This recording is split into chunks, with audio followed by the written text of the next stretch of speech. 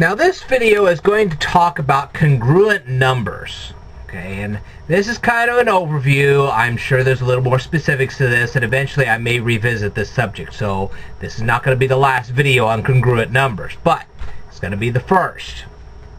Okay, now what did Gauss say about congruent numbers? Gauss said if a number divides the difference of the numbers b and c, b and c are said to be congruent relative to a number. What does all that mean? That's a lot. Alright. If a number, which is right here, the 5, see that 5 right there? If that 5 divides the difference of the numbers b and c, well, we're going to take 9, negative 9 and 16. See that negative 9 right there? We're going to take this 16. Alright.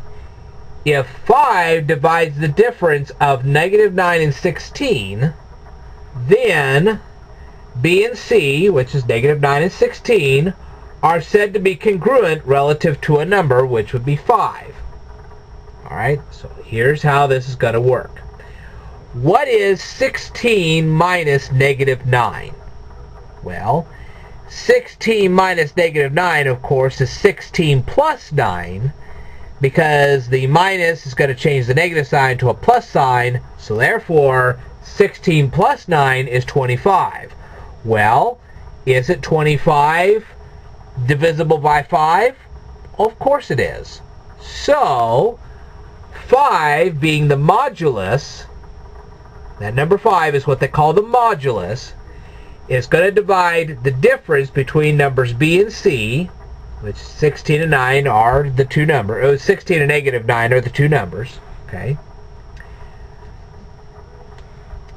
And if these two numbers, 16 and negative 9, are congruent to one another, then it is also said, and by the way, that is not an equal sign. Let me draw the third line up here.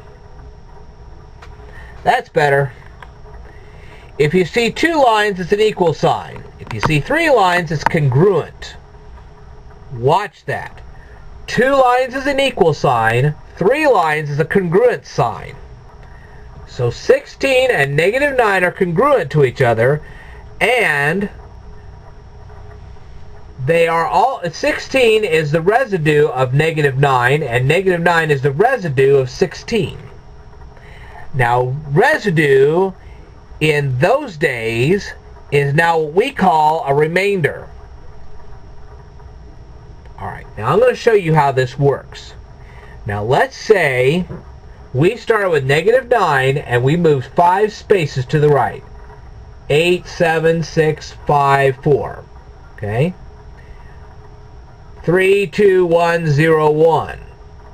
2, 3, 4, 5, 6.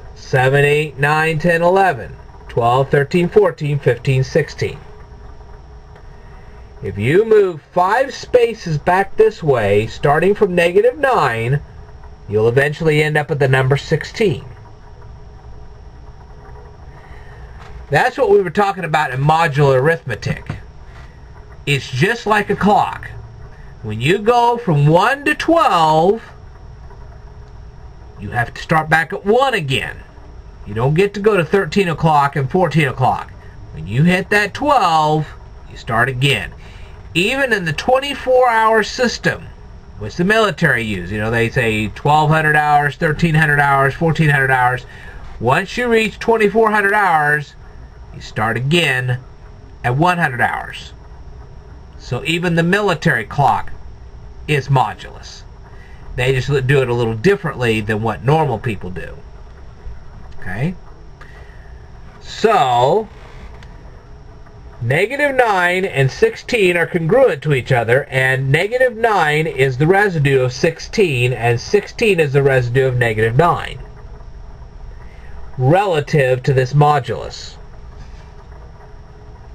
Now, if we had said mod 3 instead of mod 5, none of that would be true, because negative 9 would not be congruent to 16 modulus 3. Because if you're going to count backwards, okay, 3, you would go 876, 543, 210, 123, 456, 7, 8, 9, 10, 11, 12, 13, 14, 15. You'd end up at 15 instead of 16. And there you go. So modulus 3 wouldn't work, but modulus 5 does.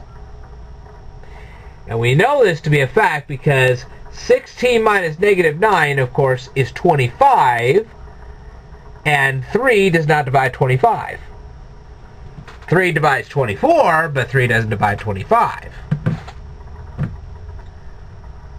So, that's how that works. Now, let's say you were given um, negative 7, 15, and modulus 11. Well, that's going to work because 15 minus negative 7, okay, 15 minus negative 7 is going to be 22. All right?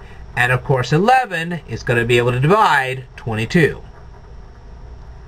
Now how do you know this is going to work? Well, if you go from negative 7 to positive 4, that's 11 steps. You go from positive 4 to 15, that's 11 steps. And there you go. But if you were saying that uh, negative 7 and 15 are congruent, modulus 3, that would be a lie. Because you take 3 steps instead of 11 steps, you'll figure it out for yourself. And if you don't believe me, you can illustrate that right down here on, make a video response showing that. But anyway, that's how that works in a nutshell. So, hopefully you understood all this. If you have any any questions or whatever, just leave them in the comments down below. I will tell you more in a future video. Stay tuned.